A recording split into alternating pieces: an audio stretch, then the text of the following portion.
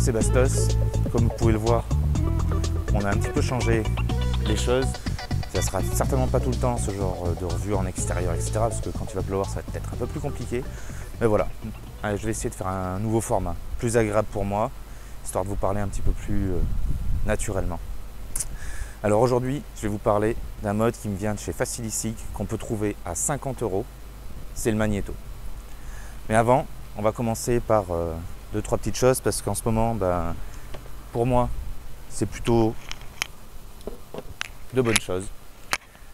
Alors, je vais les partager avec vous. Donc, j'ai retrouvé du boulot, ça c'est pas mal. Il y aura peut-être un petit peu moins de revues, tant pis. Mais ça m'a aussi, permis de faire, on va dire, euh, des investissements. Et grâce à ça, ben, on, donc, on va commencer par un premier cadeau. Ça va être euh, donc, le tank AGR. Voilà. Premier cadeau. J'ai pas encore déterminé les modalités de, jeu. Deuxième cadeau, la e-pipe de chez Smoke. Voilà. J'ai pas aussi euh, déterminé les modalités pour l'avoir.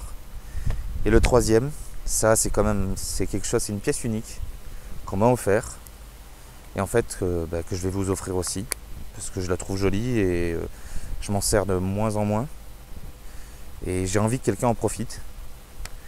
Donc j'aimerais bien que ce soit quand même quelqu'un qui, enfin, qui aime bien les belles choses, qui aime bien le joli bois. Enfin, le but c'est pas de l'acheter par terre, voilà. Je sais très bien que vous le ferez pas, mais euh, voilà, c'est, c'est un mode qui me plaît et que je vais vous offrir. C'est voilà, la viennoise qui m'avait été déjà offerte. Et là, pareil, j'ai pas encore déterminé les modalités. Voilà, donc trois cadeaux différents. Donc il y aura, euh, je sais pas, peut-être trois tirages au sort ou euh, je ne sais pas encore comment ça va se passer. Tout ce que je sais, c'est que je vais, ouvrir une page sur mon blog. Vous allez où les 30 premiers inscrits sur cette page seront tirés au sort pour le premier lot. Les 30 premiers inscrits sur l'autre page pour le second lot. Et les 30 premiers inscrits pour le troisième. Je pense que je vais faire comme ça. Ça va tourner à peu près comme ça. Je vous l'écrirai sur le blog. Vous irez, vous avez qu'à aller faire un petit tour dessus. Petite adresse juste ici. Et euh, vous pourrez voir un petit peu, on va dire, euh, les modalités pour euh, obtenir tout ça. Vous pouvez même vous inscrire sur les trois, il n'y a pas de problème. Mais voilà, chaque, chaque, on va dire, entre guillemets, cadeau sera séparé. Voilà, et maintenant, on revient magnéto. Alors le magnéto, on en a beaucoup parlé, mais on a fait. C'est vrai que c'est un mode de super-héros, je suis complètement d'accord. Là-dessus, il n'y a pas de problème. Et vous vous posez tous la question du pourquoi, du comment, le logo araignée en dessous. Et vous posez aussi la question souvent à quoi sert Enfin, pourquoi ils ont fait ce type d'airflow dessus? Ben, la réponse, je vous la donne de suite.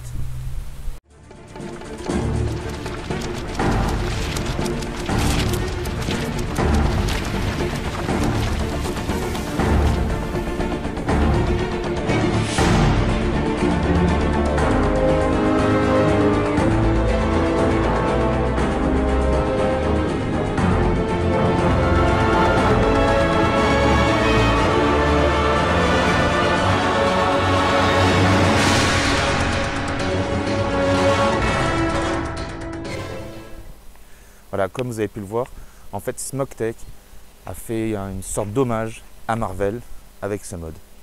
Donc avec ici Spider-Man, le nom du mode Magneto, 1939, l'année de création de Marvel. Et bien sûr, le top cap qui rappellera Iron Man au niveau de la fermeture, de son casque. Voilà, donc ce mode, c'est vraiment quelque chose de très très agréable. Il est complètement démontable. Alors, euh, par rapport à pas mal de revues que j'ai regardées, surtout, surtout, parce que ça c'est une petite erreur, je pense, qui a été faite, ceci n'est pas un plot de réglage de la course, d'accord? La petite rondelle que vous avez ici. Ça sert à fixer le bouton poussoir. Donc on va passer directement sur le démontage et vous allez pouvoir voir un petit peu comment il se démonte. A tout de suite.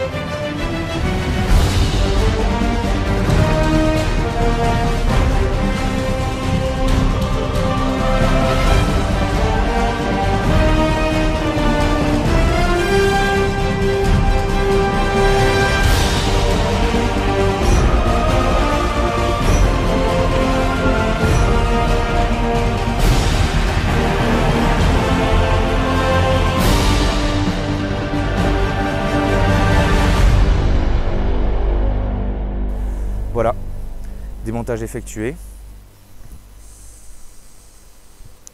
On va un petit peu regarder maintenant juste ici, ou là, on verra, le drop. Donc je vais partir avec le cassant, puisque c'est ma référence à l'heure actuelle au niveau du drop. Avec euh, cet atto-là, donc qui est à 1,8 tonnes mesuré. Donc sur le cassant, comme vous pouvez le voir avec la batterie, on est à 3,95 volts. Quand on met l'atto dessus, on passe à 3,81 volts.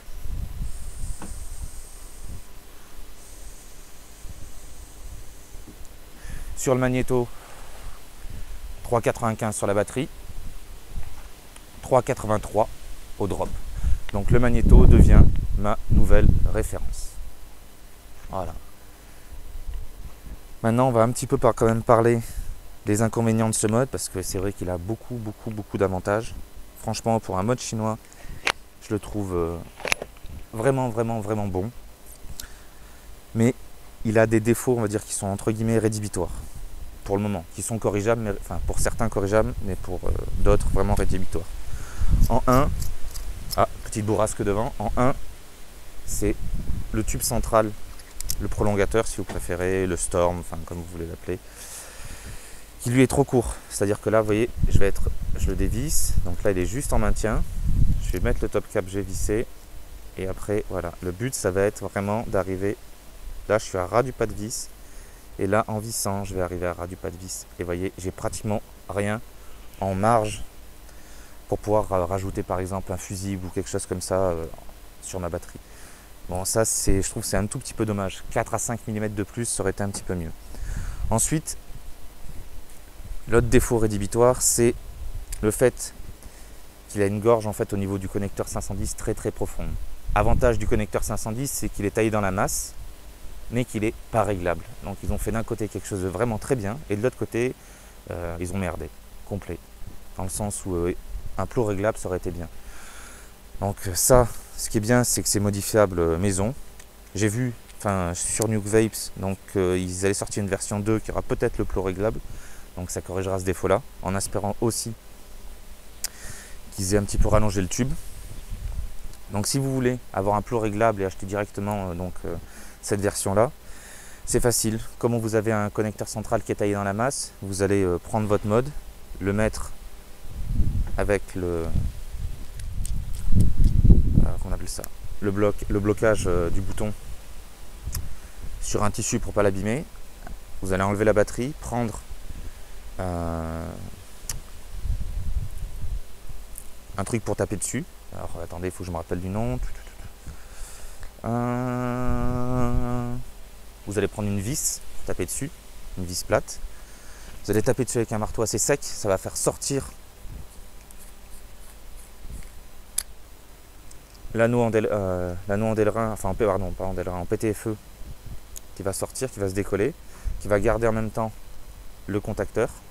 Là, vous allez pouvoir enlever le contacteur et après avec une vis M4 de type euh, électricité que vous pouvez acheter à peu près dans euh, tous les magasins de bricolage. Moi, j'en ai, je vais, la faire cette modification, pas sur cette revue-là, sur une autre, je pense, avec une vis type M4. Vous pouvez aussi la voir sur une des revues de Todd, de toute façon, si jamais je la fais pas où il explique comment le modifier avec une vis M4. Par contre, voilà, je vous dirai exactement la même chose que lui. Euh, quand vous faites ce, genre de modification, ce qu'il faut savoir, c'est que vous pouvez casser votre mode. Donc après, c'est à vous de voir si vous êtes sûr de vous ou pas. Euh, si vous ne l'êtes pas, le faites pas. Ça serait dommage de péter un mode comme ça, juste euh, pour une petite, un petit défaut qui entre guillemets est pas non plus bien méchant. Bah, je crois qu'on a fait le tour du mode. Je verrai si j'ai des choses à rajouter dessus et je reviendrai. Allez, je vous souhaite une bonne vape et j'espère que la nouvelle présentation vous plaira. A plus, bonne vape